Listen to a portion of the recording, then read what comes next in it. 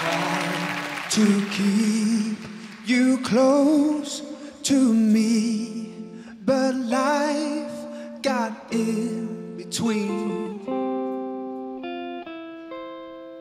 But now we're caught against the tide. Those distant days are